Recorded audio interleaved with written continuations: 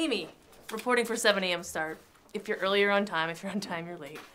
You're late. As intern, you must be earlier than early to be on time, and it's your strict duty to follow my orders.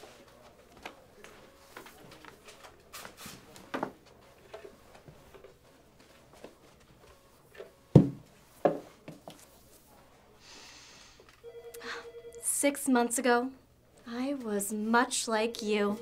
Will we be sharing an office? Up, up, up. You should save your questions to my designated Q&A time. And no, your desk is in the hallway.